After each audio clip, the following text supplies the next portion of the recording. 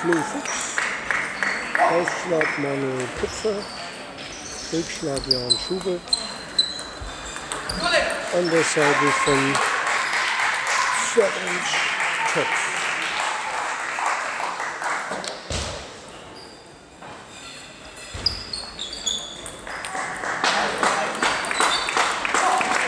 Spieler B Viertelfinale mit Toni Matsuka, ehemals TV Spannau, jetzt beim TSV Stein.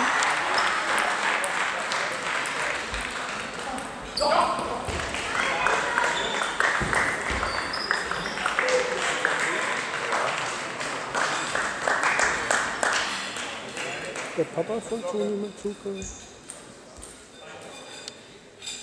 Coach Nobby Speckler.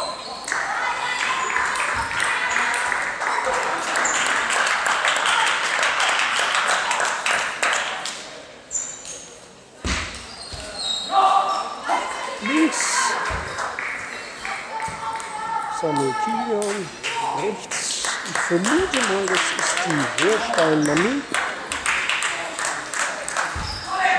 Sehr oft auch zu sehen als Zuschauerin bei den Zweitligaspielen des CV Hip.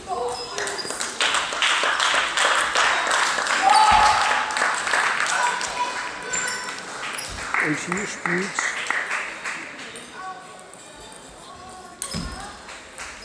ich das nicht durcheinander bringe, der Stein Junior im Schüler B-Finale.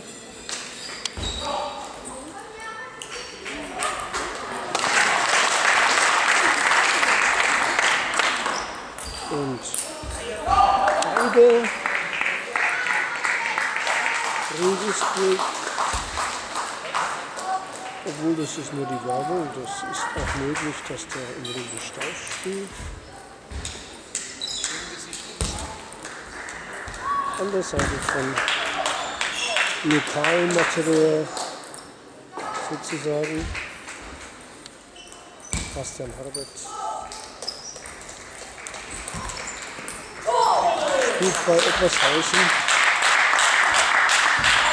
und Verzeih.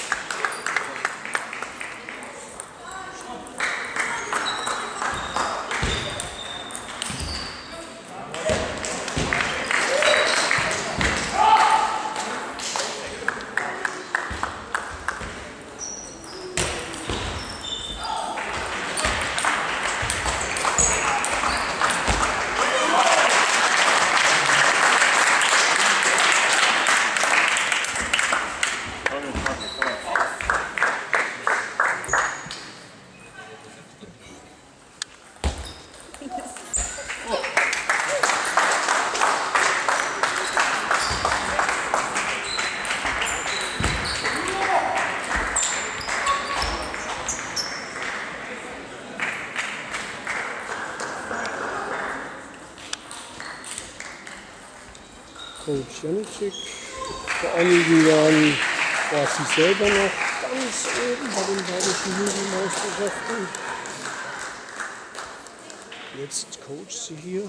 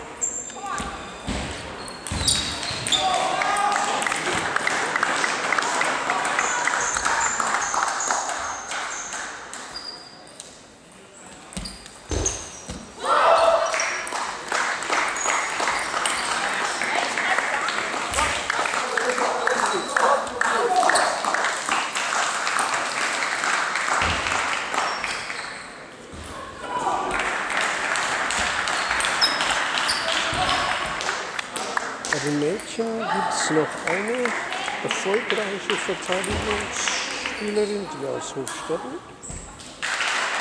Mit der Nummer 272. Bei den Jungs habe ich überhaupt keinen Verteidigungsspieler gesehen bei diesen bayerischen Meisterschaften der Jugend.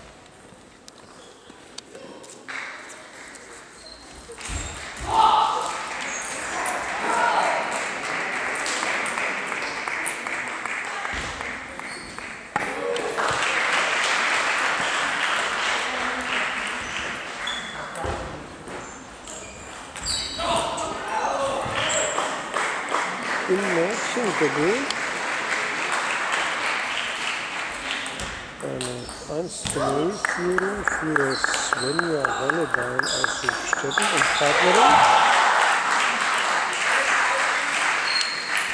Gegen die eigentlich doch leicht favorisierten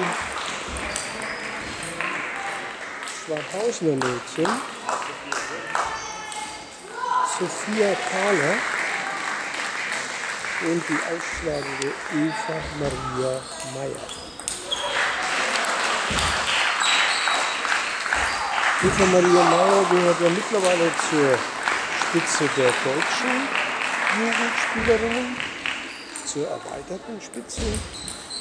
Hat bei einem deutschen Ranglistenturnier recht erfolgreich gespielt, war bei der letzten deutschen Jugendmeisterschaft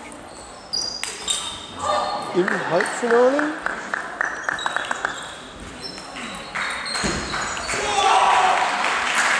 Wurde hier im gemischten Doppel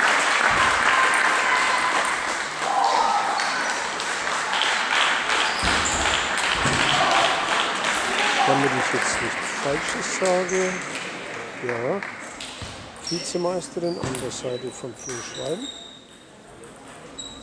Wobei das Spiel eigentlich schon fast gewonnen war.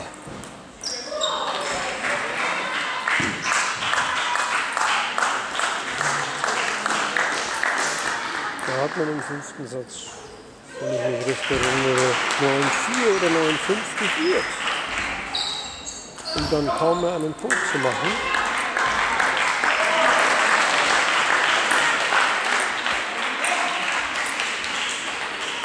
Also Eva Maria Meyer möchte schon ganz gerne wenigstens zwei Titel von dieser bayerischen mit nach Hause nehmen. Die beiden haben was dagegen.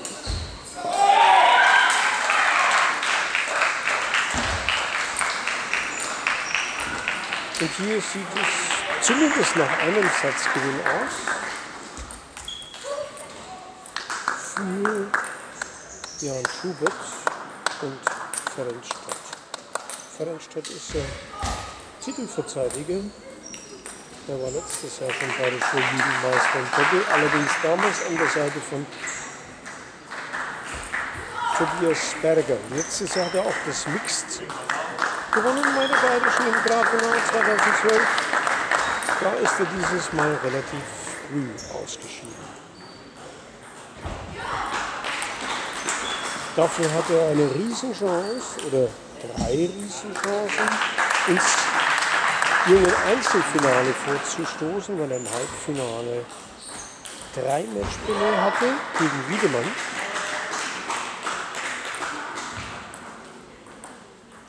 Am Schluss hat er das Spiel doch noch verloren. Das jungen Einzel also da wird das Endspiel ausgetragen zwischen Wiedemann, und Jan Schubert. Die beiden trafen auch schon in ihrer Gruppe aufeinander und da gewann der Wiedemann. Schubert war dann nur Gruppenzweiter.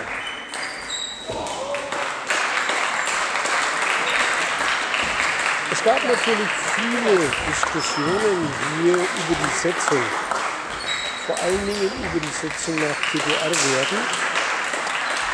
Denn bei allen Riesenvorteilen, die dieses neue System hat, mit TDR-Ranglistenpunkten, gerade bei den Jugendspielern wird da doch das eine oder andere schwer verzerrt.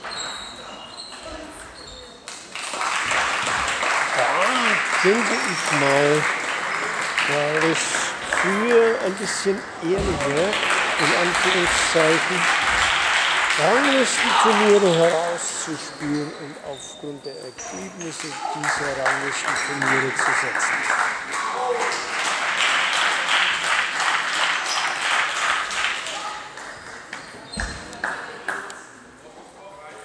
Da muss man sich vielleicht etwas Gedanken machen. Jan Schubert hatte da eine richtig schwere Auslosung. Und Flo Fuchs war sicherlich auch nicht gerade begeistert, dass er zu einem so frühen Zeitpunkt schon gegen Jan Schubert spielen musste.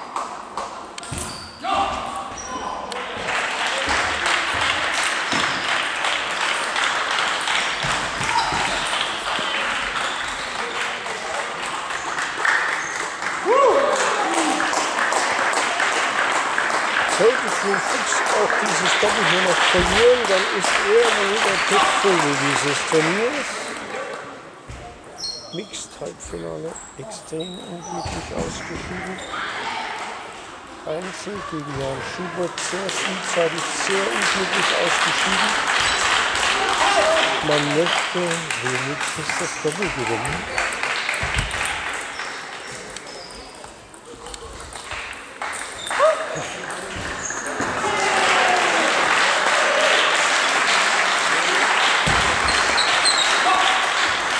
Aber noch gibt es einen dünnen Vorsprung für Schubert.